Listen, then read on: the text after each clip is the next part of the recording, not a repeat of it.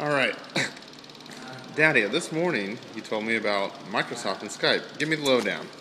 Microsoft just bought Skype for $860 million in a recession. Jesus Christ. It's freaking. I don't remember the last deal that was that huge. I, I don't remember the last deal that was that huge.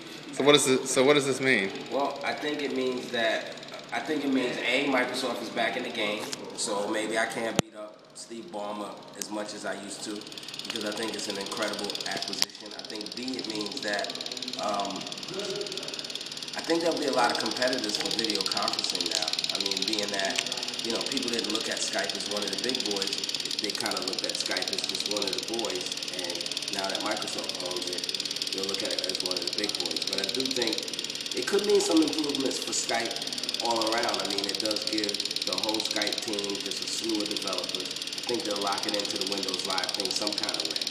Um, and then I hope they'll get rid of that Windows Live video chat. Yeah, that's kind of crappy. Yeah. So, all right, awesome. Thanks.